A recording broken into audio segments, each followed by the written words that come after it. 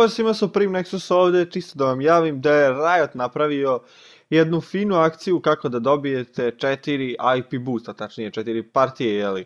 Sve što treba da uradite jeste da linkujete vaš League of Legends account sa vašim Facebook accountom. Kako to da uradite? Kad odete ovdje na prijatelje, idete na Find Friends i ovdje će vam pisati kao link account ili connect account ili šta već. Novo dugme kliknite, kod mene već povezano pa ovaj, zbog toga ne možete da vidite ništa ali kada ovaj kliknete povezat će vam se Facebook account, jeli sa League of Legends accountom, Facebook će vas pitati da li želite da prihvatite, neće poslati ništa zid, neke gluposti, prihvatite sve tamo i kad vam se poveže jednostavno ćete dobijati predloge kod vaših pravih jeli, prijatelja na Facebooku igrali League of Legends, koliko bi ga dodali igrali ovaj, partije zajedno, možda vam preporuči Maju iz 6.2 pa se budete fino zanimali posle toga. I kad povežete ovaj account treba da ostavite ovako bar posle 1. juna, znači za svaki slučaj ako vi želite da gasite, to je da vam ne daje više te ovaj, prijatelje sa Facebook akaunta, možete posle da isključite, ali sačekajte možda 3. 4. jun, pošto 1. juna svi koji budu baš ceo dan imali povezan ovaj akaunt, dobit će taj